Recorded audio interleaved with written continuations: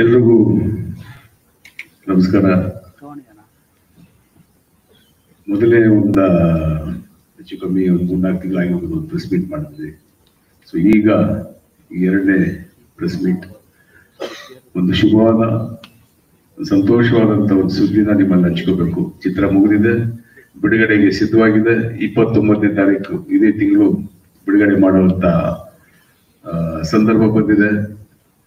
So ಆ ಒಂದು ಖುಷಿನ ನಿಮ್ಮೆಲ್ಲರ ಹತ್ರ ಹಂಚಿಕೊಂಡು ನೀವು ಅದೇ ತರ ಇಡೀ ರಾಜ್ಯದ ಜನತೆಗೆ ನೀವು ಆ ಒಳ್ಳೆ ಸಂತೋಷ ಸುದ್ದಿನ ಹಂಚಬೇಕು ಅಂತ ನಾನು ಈ ಸಂದರ್ಭದಲ್ಲಿ ಕೇಳ್ಕೊತೀನಿ. ಒಬ್ಬ ನಿರ್ಮಾಪಕನಾಗಿ ಒಂದು ಚಿತ್ರ ಮಾಡುವಾಗ ನಾನೇ ಅಲ್ಲ, ಎಲ್ಲ ನಿರ್ಮಾಪಕರು ಅಷ್ಟೇ. ಒಂದು ಒಳ್ಳೆ ಕತೆ ಆರಿಸ್ಕೋಬೇಕು, ಒಂದು ಒಳ್ಳೆ ಚಿತ್ರ ಮಾಡಬೇಕು, ನನ್ನ ಚಿತ್ರ ಚೆನ್ನಾಗಿ ಆಗ್ಬೇಕು ನನ್ನ ಚಿತ್ರ ಹಂಡ್ರೆಡ್ ಡೇಸ್ ಹೋಗ್ಬೇಕು, ಒಳ್ಳೆ ಕಲೆಕ್ಷನ್ ಆಗ್ಬೇಕು.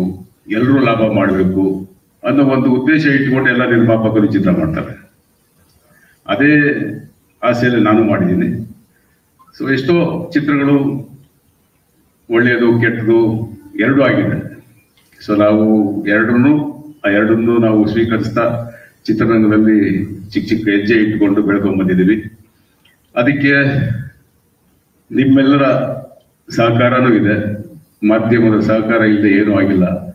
ಖಂಡಿತವಾಗ್ಲೂ ಮಾಧ್ಯಮ ಒಂಥರ ಚಿತ್ರರಂಗಕ್ಕೂ ಪ್ರೇಕ್ಷಕರಿಗೂ ಒಂಥರ ಬ್ರಿಡ್ಜ್ ಇದ್ದಂಗೆ ಸೇತುವೆ. ಸೊ ನೀವೆಲ್ರಿಗೂ ತುಂಬು ಹೃದಯದ ಅಭಿನಂದನೆಗಳು ಸಲ್ಲಿಸ್ತೀನಿ. ಈ ಚಿತ್ರದ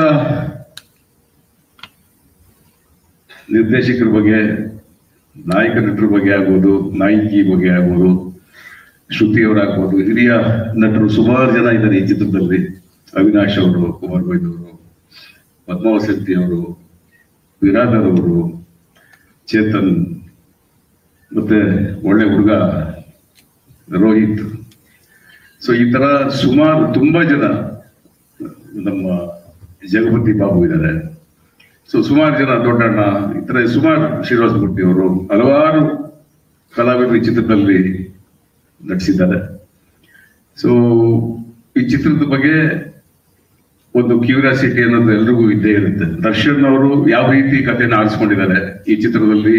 ಒಂಥರ ಎಲ್ಲೋ ಒಂದು ಏನೋ ಒಂದು ಡಿಫ್ರೆಂಟ್ ಆಗಿ ಕಾಣ್ತಾ ಇದ್ದಾರೆ ಅನ್ನೋ ಒಂದು ಸುಮಾರು ಜನ, ಅಂದ್ರೆ ಮಾಧ್ಯಮದಿಂದ ಆಗ್ಬೋದು, ಅಥವಾ ಪ್ರೇಕ್ಷಕರಿಂದ ಆಗ್ಬೋದು, ಮುಖ್ಯವಾಗಿ ಅಫ್ಕೋರ್ಸ್ ಅದು ಒಂಥರ ಬ್ಯಾಂಕ್ ಅಲ್ಲಿ ಬ್ಯಾಂಕ್ ಅಕೌಂಟ್ ಅಲ್ಲಿ ದರ್ಶನ್ ಅವ್ರಿಗೆ ಇರೋ ಅಂತ ಒಂದು ದೊಡ್ಡ ಸೆಲೆಬ್ರಿಟಿ ಫಂಡ್ ಅಂತ ಹೇಳ್ತೀವೋ ಡೆಪಾಸಿಟ್ ಅಂತೀವೋ ಅವ್ರಾಗ್ಬೋದು ಎಲ್ಲರೂ ಖುಷಿಯಾಗಿ ದರ್ಶನ ಯಾವಾಗ ರಿಲೀಸ್ ಯಾವಾಗ ರಿಲೀಸ್ ಅಂತ ಪಾಪ ಅವರು, ಅವ್ರು ಒಂಥರ ಹಬ್ಬ ಸೊ ಆ ಖುಷಿಯಲ್ಲಿ ಎಲ್ಲರೂ ತುಂಬಿ ತುಳುಕ್ತಾ ಇದ್ದಾರೆ. ಅದೇ ಒಂದು ಸಂತೋಷ ನನಗೂ ಸೊ ಈ ಒಂದು ಸಂದರ್ಭದಲ್ಲಿ ಅದೇ ತರ ಈಗ ನೀವು ಹಾಡುಗಳನ್ನ ನೋಡಿದ್ದೀರಾ, ಹರಿಕೃಷ್ಣ ತುಂಬಾ ಒಳ್ಳೊಳ್ಳೆ ಹಾಡುಗಳನ್ನ ಈ ಚಿತ್ರಕ್ಕೆ ಮಾಡಿಕೊಟ್ಟಿದ್ದಾರೆ. ಅಫ್ಕೋರ್ಸ್ ದರ್ಶನ್ ಚಿತ್ರಕ್ಕೆ ಆಗ್ಲಿ, ಅಥವಾ ಬೇರೆ ಎಲ್ಲಾ ಚಿತ್ರಗಳಲ್ಲಿ ಹರಿಕೃಷ್ಣ ದಿ ಬೆಸ್ಟ್ ಸಾಂಗ್ಸ್ಗಳನ್ನ ಕೊಟ್ಟಿದ್ದಾರೆ. ಅದೇ ತರ ಈ ಚಿತ್ರಕ್ಕೂ ಬೇಕಾದಂತ ಒಳ್ಳೆ ಹಾಡುಗಳನ್ನ ಕೊಟ್ಟಿದ್ದಾರೆ. ನೀವು ನೋಡಿದ್ದೀರಾ? ನಿಮಗೂ ಇಷ್ಟ ಆಗಿದೆ ಅಂತ ನಾನು ಅನ್ಕೋತೀನಿ.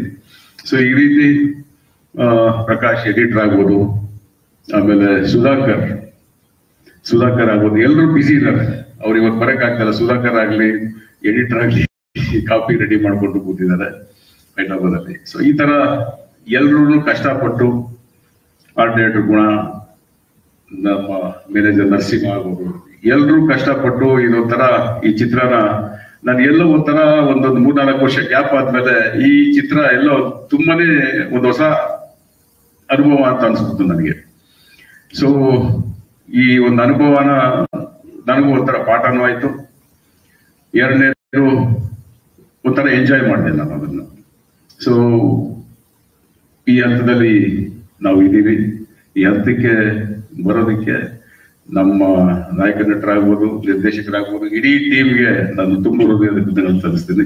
ಬೆಂಗಳೂರಿನಿಂದ ಮಂಗಳೂರುವರೆಗೆ ಬೀದರ್ನಿಂದ ಚಾಮರಾಜನಗರದವರೆಗೆ. ನಿಮ್ಮ ಸುದ್ದಿ ನಿಮ್ಮದೇ ಭಾಷೆಯಲ್ಲಿ. ಕರ್ನಾಟಕ ತಕ್.